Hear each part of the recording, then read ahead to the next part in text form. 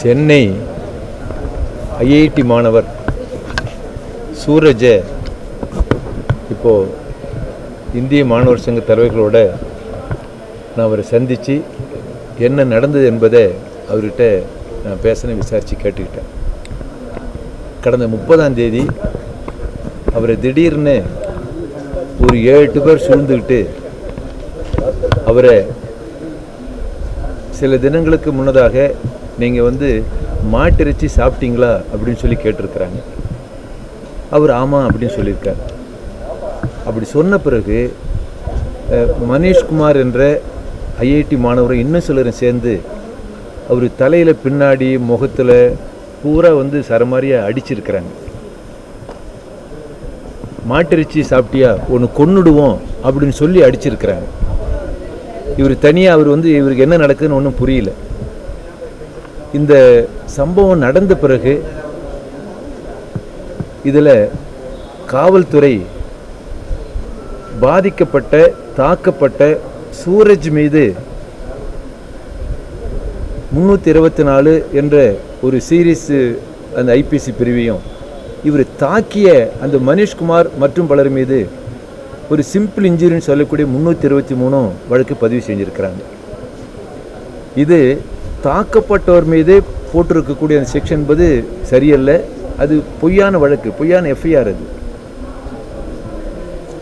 காவல்துறை சூரஜ் கொடுத்த கம்ப்ளைண்ட்டில் மாட்டிறைச்சி சாப்பிட்டியான்னு சொல்லி அடித்தாங்க கொன்னுடுவன்னு சொல்லி ஐ வில் கில் யூ அப்படின்னு சொன்னாங்கன்னு சொன்னால் இந்தியன் பீனல் கோட் முந்நூற்றி ஏழு கீழே அந்த மனிஷ்குமார் மற்றவர்கள் மீது வழக்கு பதிவு செஞ்சுருக்கணும். அப்படி வழக்கு பதிவு செய்யலை. தாக்கப்பட்டவர் மீது மோசமான வழக்கம். தாக்கி மீது லைட்டான வழக்கம். காவல்துறை செஞ்ச நடவடிக்கை என்பது சரியானதல்ல கண்டிக்கத்தக்கது ஒன்று. இரண்டாவது ஐஐடி நிர்வாகம் இதுவரையில் இந்த தாக்கிய மனிஷ்குமார் மற்றவர்களும் எந்த நடவடிக்கையும் எடுக்கலை. சொல்லப்போனால் நிர்வாக ஐஐடி நிர்வாகம் பாரபட்சமாக இருக்கு. மூணாவது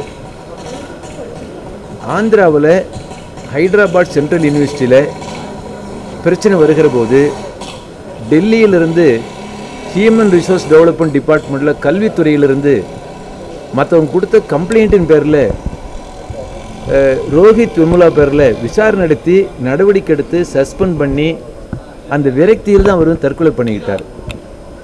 அதாவது இப்போ பிஜேபி அரசனுடைய அல்லது சங் பரிவார் அமைப்புகளுடைய அந்த மதவாத நடவடிக்கையை எதிர்த்ததால் ரோஹித் மிவ்ரா மேலே ஒரு கொடுத்த கம்ப்ளைண்ட்டை வச்சு விசாரித்து அவரை சஸ்பெண்ட் பண்ணி நடவடிக்கை எடுத்தால் விரக்தியின் விளிம்புக்கு போய் தற்கொலை பண்ணிக்கிட்டார்.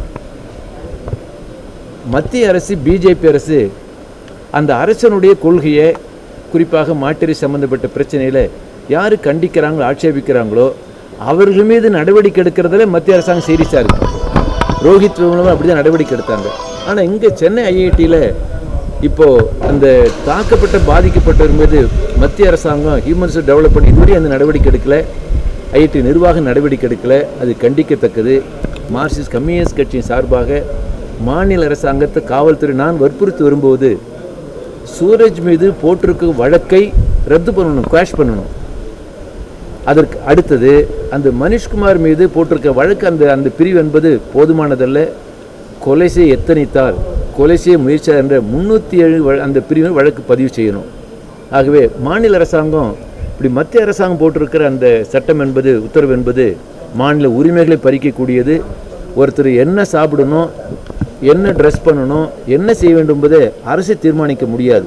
ஒரு வகுப்பாத அந்த பாதையில் நடவடிக்கை மத்திய அரசாங்கம் எடுக்கின்ற போது மாநில அரசாங்கம் மௌனம் சாதிக்கக்கூடாது. அப்படி அதை ஆட்சேபிக்கிற மீது வந்து சங் அமைப்புகள் தாக்குகிற போது அதையும் பார்த்து வேடிக்கை பார்த்துட்டு இருக்கோம். உடனடி நடவடிக்கை எடுக்க வேண்டும் என்பது தான் மார்க்சிஸ்ட் கம்யூனிஸ்ட் கட்சி சார்பாக நான் சொல்ல விரும்புகிறேன்.